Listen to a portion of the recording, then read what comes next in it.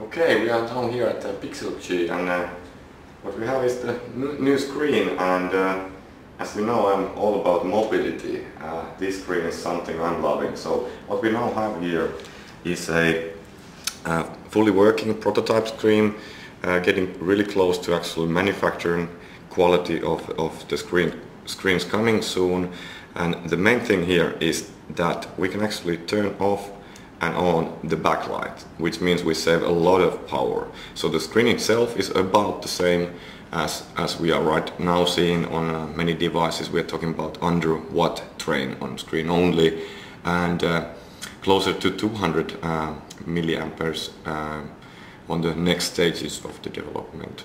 Right now together with screen, uh, together with the backlight. Typically these kind of screens running 3 watts, even 5 on older systems and now with the press of the button we can, we can drop it immediately to 2.5 watts which means on a typical netbook set easily half an hour so what that means on a typical netbook setup, we can easily just with that backlight on-off uh, function get half an hour battery life saving on smaller batteries. Of course batteries like on my Eee PC we get huge savings because uh, comparing 2 watts on a bigger batteries I, I, could run this device with the same battery about uh, 9 to 11 hours.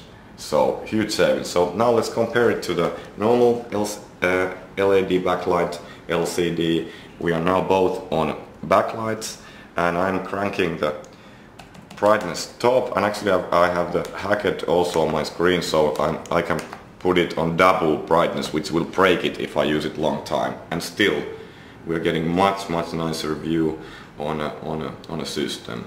So backlight on off actually I prefer here on the sunlight I prefer it totally with without the backlight. It's much nicer use. So of course new technology comes new uh, new things to learn and uh, and uh, have. So here we have solitaires, so you can see the difference. We don't have colors when the backlight is off, which in many cases on mobile environment that isn't that big deal. We get full movement, so the graphics capabilities, the refresh rate is perfect for normal mobile use, for productivity and so on. We can also place videos nicely, but it's not um, really as good as, as, a, as a normal screen, but still, let's fast forward a bit. This is actually, the picture is picture quality is bad, not the, not, not the actually uh, refresh rate.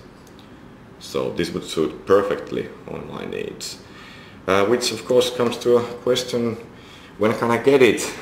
So of, of, course expect me to hack one of these babies to one of my babies and uh, we will see how that goes later. Right now I'm really really happy to finally see that and, and actually prove to myself that this is something you should look forward. So in Mobility Mind, in saving battery life, saving battery cost and uh, and uh, uh, making it easier for mobile user to use uh, outside this is this is really nice tech.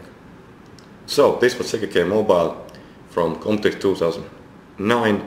Thank you, bye.